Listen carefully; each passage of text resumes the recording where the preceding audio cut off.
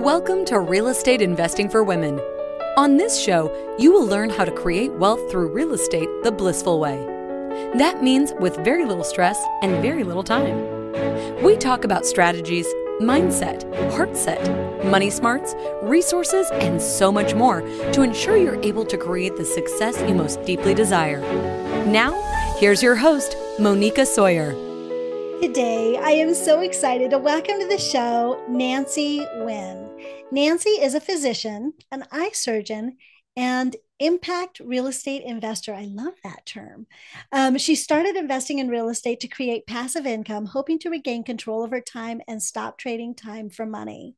She founded Clear Vision Investing to not only grow her own portfolio, but also to help others realize the power of real estate.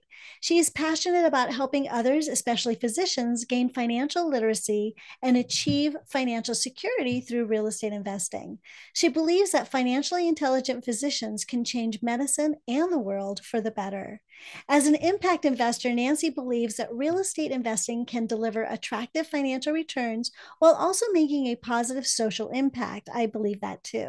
Part of the profits from her company is donated to giving the gift of sight to someone in need and a cure and to cure preventable blindness globally. Nancy, that just sent shivers down my spine and all over. Just what a beautiful bio and a beautiful mission. Welcome to the show. Thank you so much for having me. I'm so excited to be here with you today. Yeah. You know, it's so funny, Nancy. We think of doctors as like rich and smart, and many people think of them as pompous, right?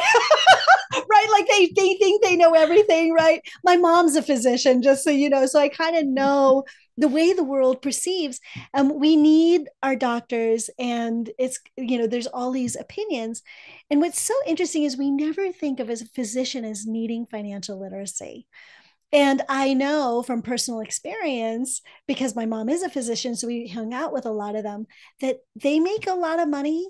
They also have this huge um, social expectation to live up to. And so, so, they spend so much of that time, first of all, serving their patients, but then also feeling because they're of service, they come to the mm-hmm. world of service, right? That's what physicians do.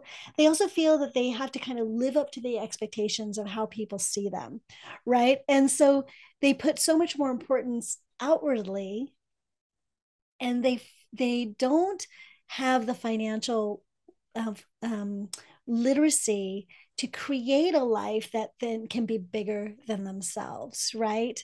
Um, so it's i think it's so awesome. We've had one other doctor that's doing a very similar thing um, on the show and i just love what you're doing for these people that serve us serve their communities. Um, they go through this huge education. They go through their residencies. They sacrifice so much to be able to be of service and um, and then their lives get so tied up that they can't they never get to retire right? Or they never get to mm-hmm. get the freedom of time with their children and their families and the things that are important to them. So just really good job. And then to expand it to something even bigger than that right? To be even a bigger service to community in different ways.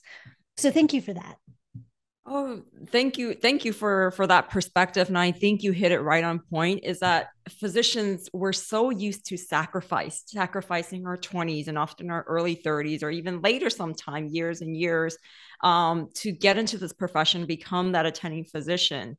But through that process, right, we also financially accumulate a lot of debt. A lot mm-hmm. of us graduate with over six figures of student loans from college and med school. And then when you're in residency, you're earning less than minimum wage for the amount of hours that you work. So you start off with this negative net worth. And then all of a sudden, as you said, society kind of expects you to live up to this expectation of this doctor image, the big mm-hmm. house, the cars, the private schools. And then you, people often get up caught in the cycle of where they're they're they're working and they're making good money, but they're kind of chasing a hamster wheel. And they mm-hmm. never, as you said, experience that freedom, financial freedom, but also that time freedom, and then eventually that geographic freedom and mm-hmm. freedom of relationships and freedom of purpose to do what you want to do. Yeah. Yeah. And it's and it's so sad, right? Because they they um and this is true in many professions, not just with physicians. I've mm-hmm. seen it with vets, I've seen it with dentists, I've seen it in all different professions, whether it's healthcare or not, um, where people sacrifice so much and end up in a place where they don't get that the freedoms that will make their life blissful so yeah it's really amazing. Tell us a little bit about your journey. Like how did you get to from being physician to real estate investor? Just like the two two minute high level. How did you get here? Yeah so so briefly um i'm um a child of refugees. So my parents came here after the vietnam war um in 1980 so i was the first in my family to be born in the us and like many children from immigrant families, um, you know, we're taught study hard, go to school, get good grades, go to good college, get that good job. So I followed this very prescribed path. And along the way, I fell in love with medicine. So that's what I did. I went through medical school and fell in love with, you know, eye and ophthalmology and eye surgeries and just giving the gift of sight. But after I got out of that training, I started working. And then this is what really got me was I realized, okay, I'm making a pretty good money, but the one thing that I could never make back, the one non renewable resource, my time, I could never get back. And this especially hit home. Like I already had this feeling, but this especially hit home when my daughter was born. Um, she's five now, but um, I remember she had a 103 degree fever and had just gone back to work after maternity leave. She was probably three or four months old. And the nanny calls me and was like, Can you come home? I'm not sure what to do. And I remember looking at my clinic schedule and I was like, I cannot, you know, because I can't just cancel on these patients, but I'll be home as soon as possible. And I just remember that feeling like I'm serving everyone, but the one thing that I want to do right now, which was to be with my daughter, to figure out what's going on, I couldn't do because I didn't have that time freedom. And that time I realized was more valuable than anything. And that's when I sought to see what I could do and discovered this thing called passive income. And through that, I discovered real estate. And that's when I was off to the races with real estate. I love that. So, talk to me about your. So, what you talk about is that passive income creates optionality and choices. Mm-hmm. I don't know if you've ever seen my TEDx talk, but it's it's all about the cho- choice creates happiness right choice gives you mm-hmm. time freedom choice gives you re- the relationships that you want and so i love your perspective on that so could you talk a little bit about that yeah i think uh, money can't buy happiness right in right. and of itself but it buys you that optionality as we're talking about you know because once you take off that financial burden off of you you're a little bit freer to say, okay, now I don't need to trade my time to earn this paycheck to pay the bills, to pay the mortgage. What do I do with that time? And sometimes it just means I want to work more. I want to see That's more right. patients. I want to do more surgeries. But the freedom of saying it's my choice to do that is different than saying I have to do it. And I think that's the key distinction that I want your audience to know is it's different when you're doing something, but then you feel like you have to do it mm-hmm. versus hey, I'm choosing to do it. You, it might be the same thing. For instance, like, you know, I could do 20 cataract cases, but it's one thing to say I have to do it because I have to earn this amount of money to cover this expenses versus, hey, I choose to do it because I love it. I want to help these patients. Right. It just brings a completely different viewpoint and it's so freeing. Yeah, I think it also really um, helps to shift the, your identity. So I've got a similar story. My husband and I were trying to get pregnant. We were going through the fertility thing, and I had had 11 miscarriages, and we were on our 12th mm. pregnancy. And um, I remember one morning I went to my doctor to do my ultrasound, and we lost the heartbeat that morning. Mm. And um, just I remember just bawling in the you know in the the little white room that I was sitting there. The doctor left to give me a moment, and I just cried and cried and cried, and then called my husband and I said, "Baby, we lost the heartbeat. I need you." Yeah. And he says, it was in the morning, it was about 11 o'clock. And he said, Sweetheart, I've got meetings all day. I'll be home at four o'clock. And I think, and he wanted to be there with me. And of course, I knew that it wasn't his fault. But I think for him, he also realized, you know what? I want to be able to be a yes, and that mm-hmm. my identity as a software programmer is not as important as my identity as husband to Moneeka. Um, and so it was an interesting shift from professional, this is how I identify myself and this is my value, to I want to be at choice for this. I want to be a programmer because it's fun. And so that's when he really got involved he's yeah. still not hugely involved in my business, but really got his buy in on we need to create enough passive income mm-hmm. so that if you decide that you don't want to be a programmer anymore, or you don't want to be tied up to a job, that now you can do that. So then when you're doing it, it's because you love it because you're passionate about it, not because you have to. So it's really this idea of creating the passive income to become job optional, not necessarily retire. I say retire and all my stuff because it's an easier way to say it sounds better than job optional. But really, what we're going for is being able to create the bliss in your life that you're searching for. And that may be continuing to work, right? And I think for a lot of us, it's going to involve some sort of work, right? For us whether it be, hey, I want to stay home more with my kids. I mean, I think being a mom is a lot of work. I have two young children, so that in itself is work, but you, you get to choose, as you said, what your identity, what title you want to choose, and it could be fluid.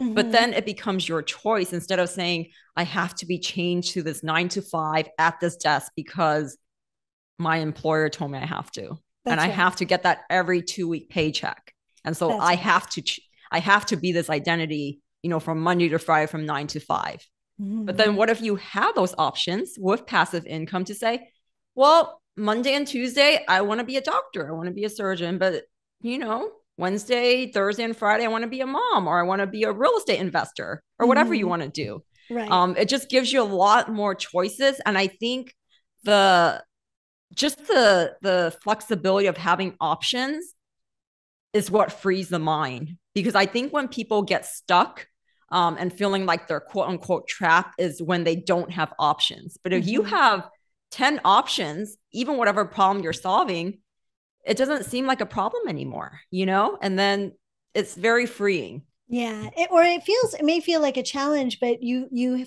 you have more confidence. You have more emotional and mental and creative confidence that you can get through it. You know, get to the other side of it, right? Absolutely. Yeah. Do you think anybody can invest in real estate? I really do. Uh-huh. I really do. So tell me about um, that. I I knew nothing about real estate other than buying our primary home. Um, and there's so much out there right now, so much education. Maybe it was different 20 years ago. I don't know. I, I didn't look way back, but I'm sure if there's a will, there's a way. But especially in this day and age, there's podcasts, there's free webinars, there's a bunch of events that you could go to. So it's just a matter of getting educated, but also getting your mindset right because a lot of the roadblock to people starting in real estate is in their minds and the mind games that they play themselves with. You know, as Tony Robbins likes to say, 80% of success is psychology mm-hmm. or mindset, and only 20% is strategy. Because if it were all strategy, then, you know, all of us would you know, be uh, have six packs, you know, yeah, and all all the librarians would be billionaires, right? Um, with all the books that they they consume. So it's not just the knowledge; it's also knowledge with your mindset and then with action that yeah. you know you could really make it happen. Yeah, I've been calling mindset the ultimate strategy. Absolutely. Right. It is a strategy in and of itself to get that under control. Right. Yeah. And and a lot of the mindset, you know, as we were talking um, before, it's just the identity you choose for yourself mm-hmm. and the stories that we choose ourselves. Because, you know, as women, how many stories do we tell ourselves that are not necessarily true or that mm-hmm. we think is true? And then we found so much evidence to reinforce it, to say That's it's right. true when it's really not. Right. Right. I always tell people, you know, everything that's going on in our lives, we've made up anyways. We make up the story, right? The circumstance happens and three different people will see it diff- three different ways. So you've made up your story about that circumstance. Why not make up stories that support you and make you and uplift you and give you those rose colored glasses that will make life ha- easier and more blissful rather than making up the stories about um, strife and difficulty and challenges and exhaustion and all of those things, right? Absolutely. Uh, the circumstance is just the fact of the circumstance. It's mm-hmm. how we view, as you, as you said, through our colored lens or no color lens, that that's how it shapes our perception and our thoughts of it. And then our thoughts ultimately sh- shape our actions, which lead to our results. So that's why it all starts with mindset. You know, is circumstance, but then the thoughts we put on it, which ultimately drive our action and then our results. So yeah yeah, it's it's all in what story you want to tell ourselves, right? Like when we're little girls, some of us tell ourselves these fairy tales. Why can't we why can't we dream like that anymore? We can. Mm-hmm. Yeah, I love that.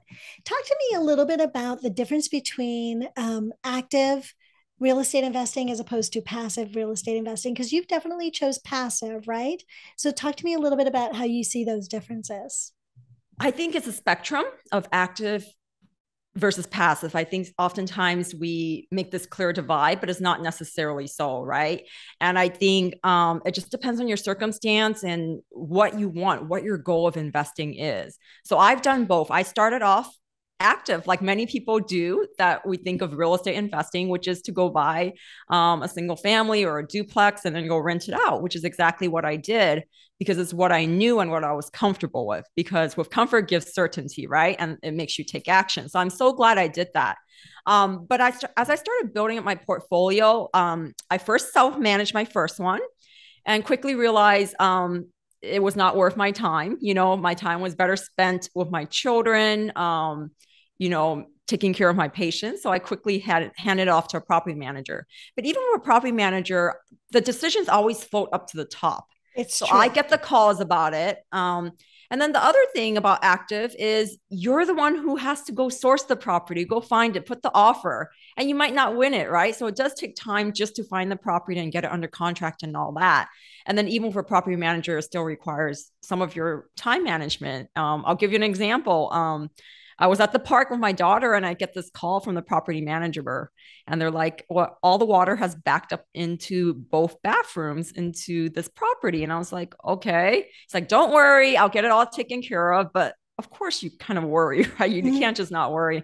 The sewer had backed up. So instead of spending that afternoon with my daughter, I was like spent on the phone, texting and calling. So that's an example of what I found wasn't quite fitting the lifestyle that I wanted at this time. And that's when I discovered passive investing. So, passive investing um, with syndications. So, for those of us who don't know what syndications are, it's just basically a group investment. So, instead of you taking your $100,000 and buying a single family home, for instance, you could take that $100,000 and pull it with a group of people to buy, say, a $10 million apartment building. So, no one person can probably just have that huge down payment or that money to buy that apartment but as a group you can do that.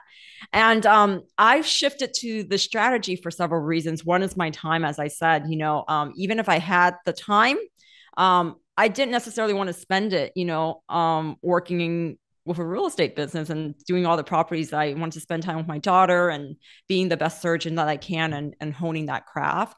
And the second was like I could really leverage a professional team um, who do this full time and leverage their network, their time, their expertise. And then the third thing that um, I saw was just really I'm able to diversify because when I was buying my own active properties, you know, I like to see and feel and touch it. So I invested in my backyard here in Atlanta. So I was pretty confined, you know, in, in terms of market. But now I get an invest in the South, the Southeast, and the Midwest. Um, I could also diversify in terms of I do mostly multifamily, but I invested in hotels and you know other commercial properties. And then you get to kind of spread your money across different sponsors as well because you could put 50k here 100k here and really spread it across. You're you're mitigating your risk across markets and then also across sponsors. And then one more thing that i really like is that you have limited liability. So when you own your own properties even if you put in an llc you're personally liable. Eventually the buck stops with you. Um, with being a limited partner in syndications you're basically limited to the amount that you invest in no matter what happens for the most part And so if someone falls on the sidewalk and sues, the most they could ever get is the amount that you invested in, you know? Um, so I really like those aspects. And right now, because I have young children and I'm busy with my career, I found that passive investing um, has been a great vehicle for me. How did you actually get into um, into investing in syndications. And and three, let me give you some perspective, Nancy, on why I'm asking that question. So for my so I'm in a lot of syndications for exactly the same reasons, different markets and different class yeah. class types, right? So I have a mobile home. I'm invested in storage, mobile home parks, yeah. uh, multi-unit, um, even some big luxury uh, single families, right? So mm-hmm. so I, I I'm in some really cool projects, and I have my own projects also, right? Awesome. Um, but I get so many of these that come across my desk now as a podcast host. I mean, I'm people know me now, right? Because I'm public about that I'm interested in this. And so I get so many of these that come across mm-hmm. my desk. So for me, I know how I got started. I these started, I started having guests like you on my show, right? Um, but how did you get started? What turned you on to that? Yeah, how I heard this term syndication, I had never heard of it, even though I had been, you know, buying single family and duplexes was one of my husband's colleagues. My husband's also a physician. So one of his colleagues had owned uh, quite a bit of a portfolio here. And all of a sudden, when we got with him one day just to catch up, he's like, Hey, I sold off all my whole portfolio. I'm just investing in these syndications. Mm-hmm. Like, what? What what is this? So I started, we started digging and I started really digging and found out what it was. And at first I thought, you know, this is like a scam, like it, it sounds like a Ponzi scheme. But as I got further into it and got educated, right? I think that's the key is the more education you get, the more confidence you feel. I'm like, I think this is legitimate. You know, I, you know, I, I hear people doing it. I've seen it work for other people. They have these structures in place. So, you know, the, the key thing is really to vetting the sponsor and vetting the deal. I mean, mm-hmm. I think mm-hmm. that's key. Number one is sponsor Number two, I would say is market. And then number three is the actual deal. Okay. Um, so that's what we did. Um, I started interviewing different sponsors who were doing it um, and really getting comfortable and kind of watching on the sidelines before I jumped in um, just to make sure that we were right fit, that they were conducting themselves characterized, character wise in a way that I, someone I want to partner with. But it is scary because you're handing over control to someone else versus if you bought your own property you know you get to choose when you refinance when you what colors you paint the walls etc like this is like handing over $50000 $100000 to someone and saying i trust you to be a good steward of this money that mm-hmm. you're going to protect it and grow it.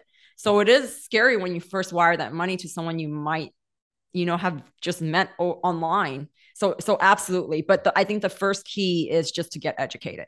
Mm-hmm. Mm-hmm as you were saying that, um, something came to me is that it's a little bit, not quite, but it's a little bit like investing in stock, right? Because when you're when you invest in the stock market into a company you're basically turning over this money to a company where they make all of the decisions. You have very little stay unless you're a major stockholder right? And um and they're kind of managing the whole thing right? And i feel like in syndications it's a little bit we have a lot more control over who we invest with. We have a lot more information about who's running the project um, and that sort of thing. But it is a little bit of that same feeling of someone else has control over this project that I'm now investing in, right? Would you say that that's true? I I would agree and disagree with that. So I okay. would agree in the sense that yes, you are handing over your money to someone, so it feels like you don't have control anymore. Mm-hmm. But something that I like about syndication that's different from stock market is that you actually know who's controlling it. In the stock market, you're kind of like, well, let me click this button and some big corporation is doing it mm-hmm. um, which brings me to the point of the difference between syndications and reits because sometimes you know when i talk to um, other women or, or physicians or investors like yeah i don't need to diversify in real estate i own some some reits or some stocks in real estate and those are two different things because owning a reit is like buying stock or a share in a company that invest in real estate, but you actually don't own the real estate like you do when you invest in a syndication, mm-hmm. which is like mm-hmm. you own a fraction of a piece of real estate. So you still get all the depreciation, the tax benefits, the cash flow.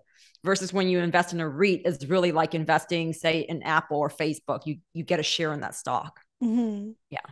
I love that. Thank you. Um, and you know what? These are great investments. REITs are great investments if you want to be completely hands off, right? Mm-hmm. Um, and REITs, they have different kinds of REITs. Like you can go into doing malls, you can go, they like you could do all of it, right? You could do them, the mobile homes, they've got all these different REITs or whatever, or full spectrum, right? Um, but that's more to me, that's a little bit more like a mutual fund, right? Absolutely. With a manager. It's not as much as like direct real estate investment. So good distinction. Thank you for that. Um, talk to me a little bit about investing for impact. I know this is a big piece of who you are in the world. Um, so I'd love to hear kind of how you do this and and why this is so important to you. Yeah, so I I think at the core of it, especially for us women, when we invest, is it's great to get the returns, but I think especially for women, we're so purpose driven, we're so community driven um, that a lot of the women investors that I talk to really resonate with the fact that they want to do something bigger for the world, for mm-hmm. their community, for their families. And if you think about it, that's what money's for. it's not just to collect this pile of cash. It's really what can you do with it. Um, and I think if you can make a positive impact for yourself, for your family, for your community, for the world, it's just so much better. And for me, um, one of my really passion projects that's just preventable blindness. I was turned on to ophthalmology, the field of eyes, um, when I was a medical student and medical student, and I witnessed the miracle of cataract surgery for the first time when this completely blind patient was hunched over, walked in with someone assisting him, and with a 10 minute surgery, walked out jumping for joy and able to independently stand up and walk away. And it just changed his life. Um, but what your audience may not know is that 80% of the world's blindness is preventable with something as simple as a pair of glasses or a five or 10 minute $25 cataract surgery.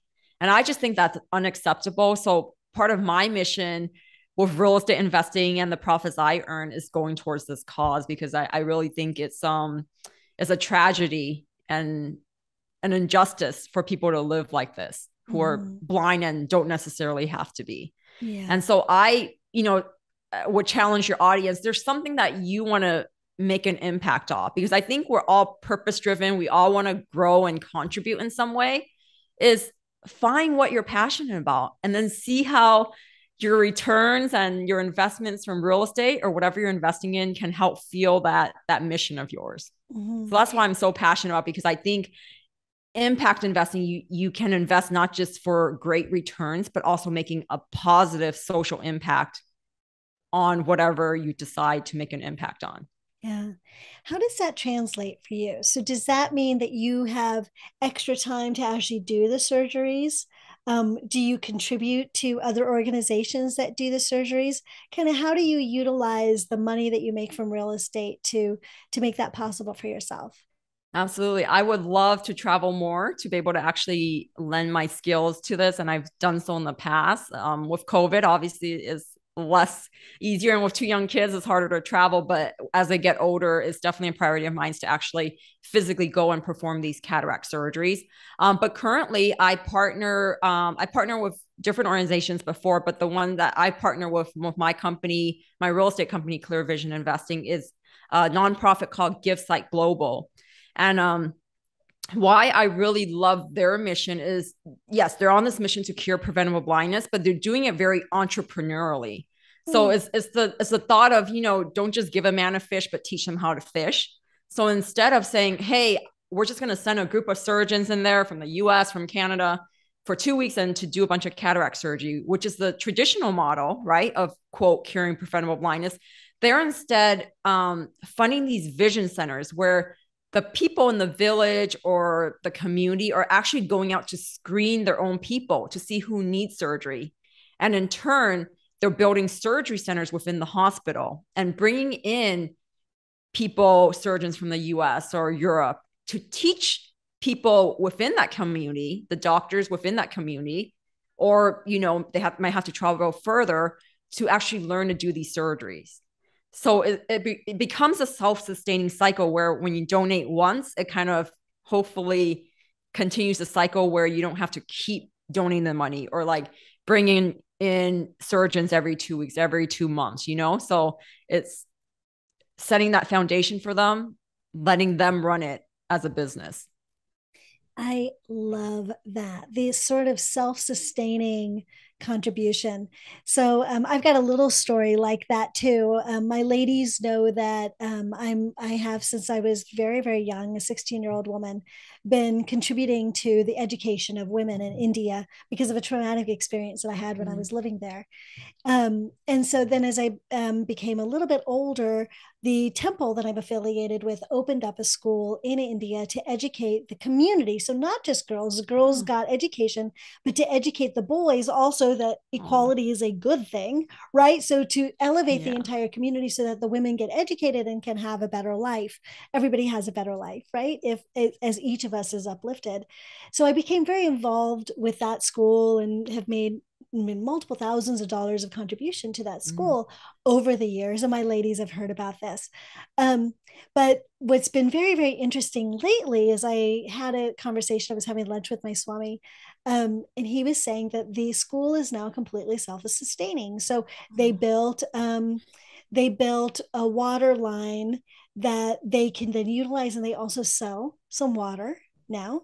Um, and then that water line also goes to their orchard of coconut trees. So mm-hmm. they then sell coconut milk, coconut water, coconuts, all this stuff because it's a very big product in India to surrounding communities. So now through the the building of and they have some cows so they can they have milk. So they've got all this stuff that they they have their farm. So now the school is self-sustaining as far as its food and nutrition and all of that stuff they also can sell some of this so that they can continue to pay the teachers and stuff like that. Now, I still donate because I want them to expand expand further, which is what their goal is. But the students that are in the school right now, all 1,000 of them, are guaranteeing an education up through high school, basically from I think it's from uh, kindergarten through high school. So it's a full wow. 12 grades once they're in, they're guaranteed that education because they're self sustaining. So for me, I also really appreciate, and it was part of the goal from 20 years ago, right, when we first started this, is that yes, we have to build and we need to get donations and all of those mm-hmm. things. Mm-hmm. And part of the plan is to make it self sustaining so that these children are guaranteed the education, the communities are guaranteed this uplifting mm-hmm. presence right? An opportunity in their communities and for it to be self-sustaining so that we're not constantly trying to get more money and doing the fundraising thing right? So it's to me that's sort of the new path of mm-hmm. contribution. Would you agree with me on that? I absolutely agree. Um, when when is self-sustaining like that or requiring very minimal continuous donations it not only you know helps the donors or nonprofits that are keep having to chase donor money right but mm-hmm. it also helps the communities or the countries that you're trying to help because as you said it uplifts them because mm-hmm. when you give someone the power to change their situation um, give them the power to earn some money and give them the power of entrepreneurship their lives can change because then mm-hmm. they realize they have the power within to change their situation. Right. So I think that's so powerful, not just from a monetary contribution standpoint, but also from the point of view of the people that we're actually trying to help. Yeah. I had yeah. never thought of that, Nancy. That other piece of like, oh, that this is even possible. Like the mindset shift that happens, yeah. right? Is is um wow, that's amazing. You just changed my paradigm right there. Thank you for that. well, you're welcome. Well, I'll give you a classic example is there's actually um, a gender gap with blindness. Um, so 55 or a little over 55% of people who are blind around the world are actually female and girls. Hmm. So now that we've given them this opportunity to go around screening people for vision, they have economic opportunities that they other otherwise wouldn't be able to have. So after they get their surgeries and their cure of their blindness and able to see, they're actually able to contribute to the very organization and mission of what helped them with their vision. So mm-hmm. it's like a self-sustaining cycle where the people that you help are now able to help others in their community. So yeah, I, I think it's it's wonderful if we could find some self-sustained solution for all problems around the world. Wow, I just love that. I love that. There was um and I've never said this on air and I'm not sure exactly how to articulate this. Um, and I don't want it to come out wrong. So ladies, just bear with me for a minute.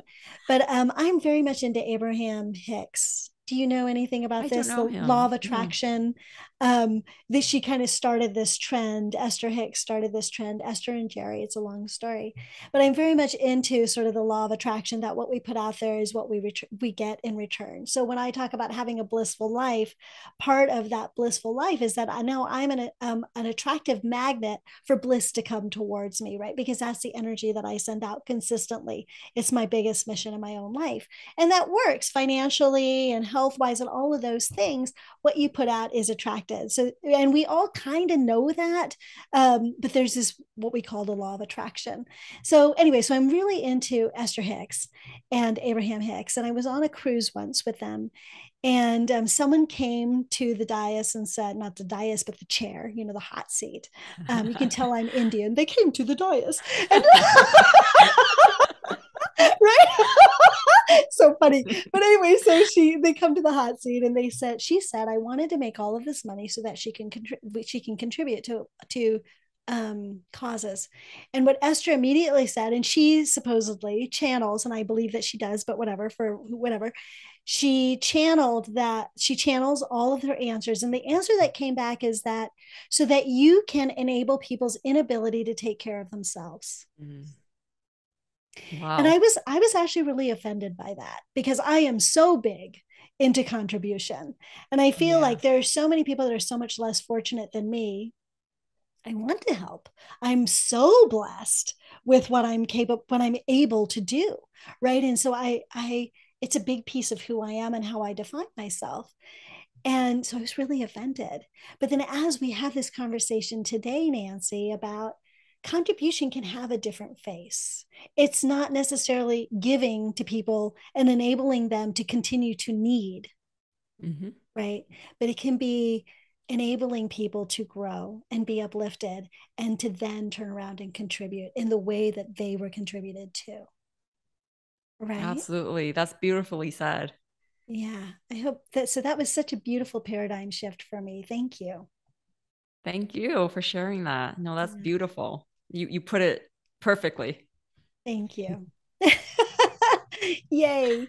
This has been such a lovely conversation. We've got more. Um, Nancy wants to talk about harmony and integra- integration, right? As women, we play so many roles with her, it's physician, mother, wife, surgeon, right? Investor, entrepreneur, philanthrop- philanthropist, right? There's so many roles that she plays, and there's so many roles that each of us plays in our life daughter, grandchild, sister, right? There's so many of these, friend. Um, and we've had other ladies come on the show and talk about sort of that balance, but we haven't had I think that each time we have a lady talk about that, we pick up new nuggets yeah. because each of us are perceiving our lives in different ways and we bring a different skill set into creating that harmony. So I feel like we're due for that conversation again. So I asked Nancy if she'd be happy to share with that with us in extra. And she said yes. So I'm so excited. So we're going to be talking about that in extra. Um, so stay tuned, ladies. But Nancy, can you tell people? I know you've got a free gift for my ladies. So could you share about that? Yes. Um, I have a free due diligence checklist for the ladies who are interested in real estate syndications. So some of you might be interested in buying your own rentals for but but for those of you who are like I never want to be a landlord, I don't want to fix toilets, deal with tenants, a great way is to passively invest like we briefly touch upon in this episode through syndications. But one of the things that stop a lot of people is that they don't know where to start or what questions to ask or how do they know that the sponsors, whoever they handing the money to, is not going to take it and run it away and never to be seen again? Mm-hmm. So I put together this checklist because it has these questions have helped me analyze the deals that I've been looking at when I was first start, started. So you could go to my website at clearvisioninvesting.com um, under learn there'll be a due diligence checklist and it's free so just download it see if you could get any value from it and i'd love to um, hop on a call to chat if you wanted to and walk you through it Oh, nice. And so that's all at clearvisioninvesting.com, right? Correct. That's how they can reach you and all of that too. Yes. Perfect. Thank you for that. That was very generous. Thank you. Yeah. Okay. Are you ready for our three rapid fire questions? I'm ready. Let's go. Okay. So, Nancy, tell us one super tip getting started investing in real estate. Education, education, education. The more you get educated, the more confident you'll be and the more you'll be ready to take action. Um, that's a question I get asked quite often by a lot of ladies, a lot of women physicians, how do I get started? And I said, start with your education. That's the one thing that no one can take away from you. And once you're armed with that power, you're you you're ready. You know, you're ready. So armed with education and then getting your mindset right and then taking action, you'll get the results that you want. So start with your education. I love that. And then what's one strategy on being successful as a real estate investor? I think it's just learning to pivot. Um, and I take this from my um, medical and surgical career because there's been so many times I've had to pivot, right? Whether it be this medication is not working, I have to pivot to another medication, or I'm in the middle of eye surgery and something is wrong, I have to pivot to get through the surgery. And I've taken those skills to apply to real estate because, as we know, as real estate investors, nothing is as planned. No matter how much you underwrite it, no matter how much the pro forma looks great, something is always bound to go wrong or not take the turn that you didn't expect it to. So just learning to recognize the situation as it is, as we talked about in this episode. And then what are the options? You know, what do you do from here? So I think just having that flexibility and knowing how to pivot will take you a long way. Mm. Oh, that's so good. Yes. And it's been so real over the last couple of years, right? With so much changing so fast. Absolutely. If you just think about from COVID to now, right? During COVID, it was like, oh my goodness, like all these prices are blowing up, but the interest rates were super low. And then mm-hmm. now, as interest rates are rising, people are kind of shooting themselves in the foot to say, I should have locked in at the low interest rate because I still would have earned a better return than, yes, the prices are you know stabilizing or kind of falling depending on the market you are but now the interest rates are high and you know some properties don't even cash flow anymore mm-hmm. so it's just learning to pivot according to what the current conditions are yeah I love that. And then, Nancy, what would you say is one daily practice that you do that contributes to your personal success? The one thing is that I have a very um, set morning routine, and part of that includes exercise. So I exercise almost every day. It's very rare that I miss it unless I'm traveling or something, because I feel that if you get your body right in the right state, it really puts your mind in the right state, and then you're ready. You just feel like you're ready to take the world. You know, mm. after that. Mm. So I, I love to get my body like just running and moving um, first thing in the morning, so that I feel like nothing can derail me. So do that before you pick up your phone, um, answer to emails. It's just set that time for yourself. It might not be exercise for some people, it might be something else. But before you pick up that phone to check Instagram or Facebook, leave that alone and just really focus on you for the first 30 minutes or so of the morning. And then and then you could react to everything else, you know, yeah. because we're so used to just reacting throughout the day that we're not proactive about what are what are intentions? How do i want to act? How do i want to react to various situations throughout the day? Right. I always say that my little smartphone is this little device of other people's agendas.